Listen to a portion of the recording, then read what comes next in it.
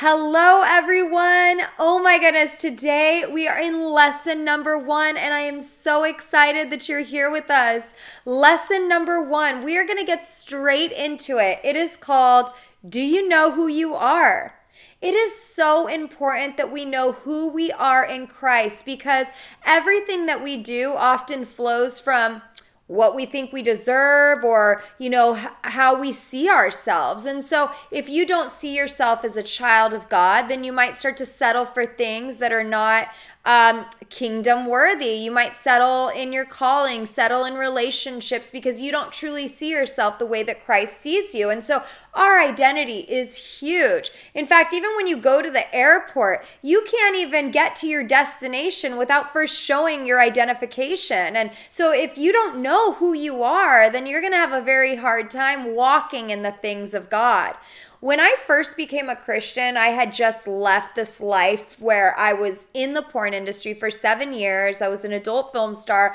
I did not know who I was. Because I didn't know who I was, I settled in with everything in life. You know, I dated men that could never truly love me, but at the same time, I didn't really even love myself because I didn't know how to. And you know, I sold myself for money. I mean, I did the lowest of the lowest things all because I didn't know who I was. And so when I first became a Christian, the Holy Spirit really encouraged me to take an entire year off of dating so that I could just grow in God and get to know who I was so that I could stop settling in life. I mean, God wanted to heal my heart. He wanted to bless my life. He wanted to restore my life. And He wanted me to walk in the fullness of who He is. And I couldn't do that until I knew who I was. So I had to get rid of all distractions. And, you know, oftentimes when you don't know who you are, you'll lean on others to tell you who you are. And so for me, I found my value value and I found my worth in being in a relationship and being intimate with a man. And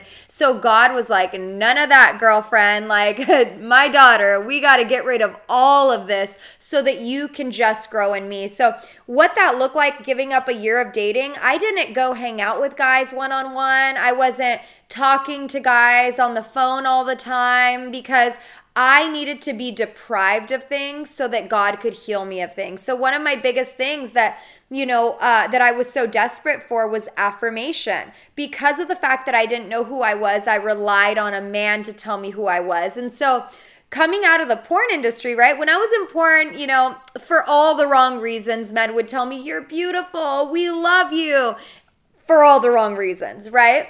But when I became a Christian and I started going to church, Nobody told me I was beautiful. I felt it was like crickets. And I remember having this moment with God and I was like, God, am, am I ugly? And God was like, Daughter, why do you ask me this?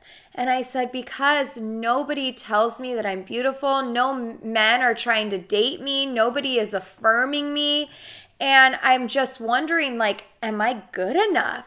And God just said, Daughter, I am doing a great work within you. Just like, and this Holy Spirit speaking, just like I told the Pharisees to first wash the inside of the cup before they wash the outside. That's exactly what I'm doing in you. See, too often we focus so much on the outward appearance, but God is always focused on our inward appearance. He's focused on the appearance of our hearts. And so, what God was doing, He was depriving me of affirmation so that He could heal me of that. And He said, I want you to be so secure in yourself, Brittni, that if nobody ever affirms you again, it doesn't faze you because you know who you are. and so this was like a year long journey of just growing in the Lord.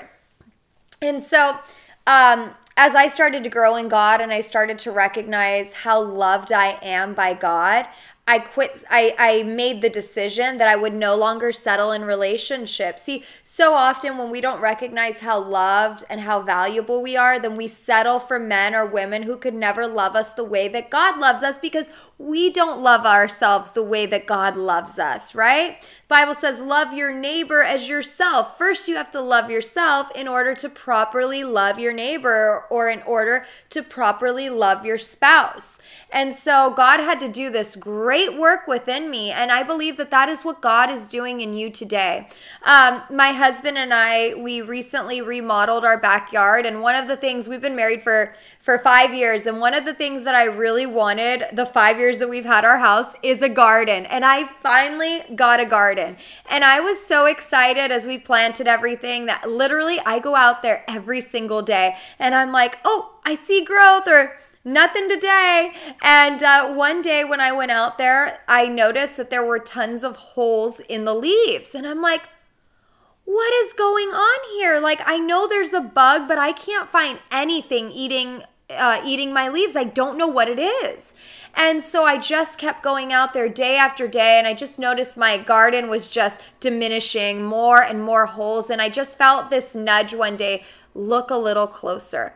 And so that's exactly what I did. I started really examining the front and the back of the leaves, and I noticed that there were these teeny tiny little caterpillars that were blending in with the leaves and I had to start picking them off one by one. See, so many times, like we get attacked by these uh, subliminal caterpillars that although it's taking it's changing maybe the way that we see ourselves it doesn't actually change who you are. So what i mean by that is like my broccoli plants were getting attacked by caterpillars but that doesn't mean that my broccoli plant is no longer a broccoli plant. So maybe the cat the subliminal caterpillars in your life are you know you battle with so many different kinds of insecurities you know you lack value you you lack when you look at yourself you don't think that you're actually worthy you don't feel like you're worthy to attract a great man or a great woman. And just because you feel that way, it doesn't mean that's who you are. See, my broccoli plant was still a broccoli plant and despite what might be attacking your identity today, you are still a child of the Most High God. You are still an heir to the throne. You are a joint heir with Jesus. You are an ambassador for Christ. You were made in the image of God, and that is who you are. Satan is always on the attack. He wants to attack your identity because if he can t- attack your identity, then he can rob you of your authority and he can get you to settle in life. And and that's why it's imperative that we recognize who we are in Christ so that we can take authority over the enemy, so that we can cast negative thoughts down or demonic thoughts down, so that we can make them submit to Christ. But you can't do any of this if you don't know who you are. And so, um, you know, there was this this uh, show called Shark Tank that me and my husband used to watch. Okay, go with me here. Okay, there was this guy that came on and he had this little yellow round thing. And I was like, is this guy bringing on like a dog toy? Like, what is this thing, right? And he came out and he said, This is the scrub daddy. And he starts talking about the different things that his scrub daddy does. That when it's under cold water, it can get out the tough stains, but it's also gentle enough to use on your dishes. It won't scratch a thing. And I was amazed by this. I was like, well, that's a pretty cool sponge because you can use it on anything, and he's claiming that it's gonna clean out all of the tough and and even the minor stains. And I actually own one now. It's incredible. I love it. Uh, not sponsored, by the way. Um, but what I found was so interesting about this is that I didn't understand what the invention was until I heard from the inventor. Same is true for you you are not going to understand what you were invented to do until you hear from your inventor. You won't understand what you were created to do until you hear from your creator. You won't recognize what you are called to do until you hear from your caller. So if you've been struggling with insecurities, with fear, with doubt, with depression, with trust issues, if you are just plain miserable and you complain all the time or you're you have these bouts of anger and it's because you don't know who you are. It's because you don't recognize how loved you are. It's because you don't recognize how forgiven you are in Christ. If you've deemed yourself unworthy, it's because you don't know how valuable you are to God's kingdom. And so the only way that we are going to discover our identity and walk in our authority authority so that we won't settle and we'll wait. See, because right now what we're talking about is single and content. You can't be content in waiting. You can't be content and single if you don't know who you are. When I didn't know who I was, I settled for any bozo that walked into my life that showed me a little bit of attention. Can any of you relate? Please tell me I'm not the only one. But when I recognize my identity through spending time with Jesus on a daily basis, then I started to go, wow, I don't want to settle in a relationship.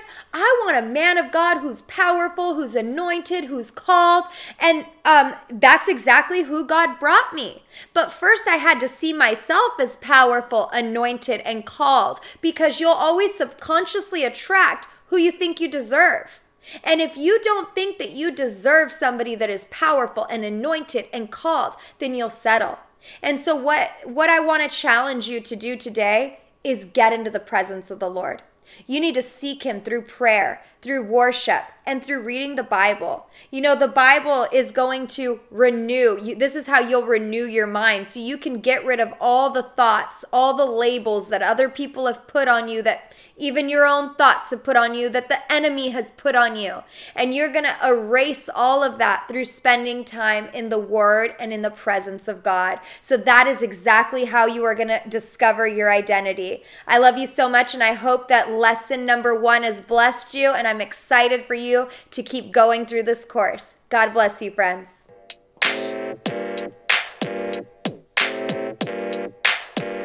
Hey guys, we hope you enjoyed today's lesson and we pray it was a blessing for your life.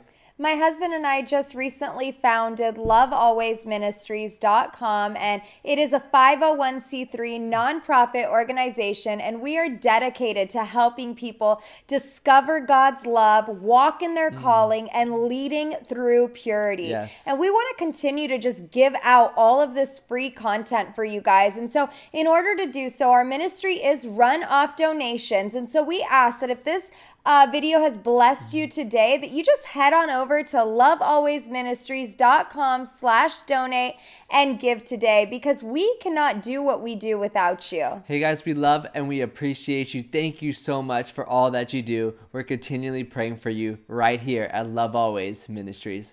God bless you.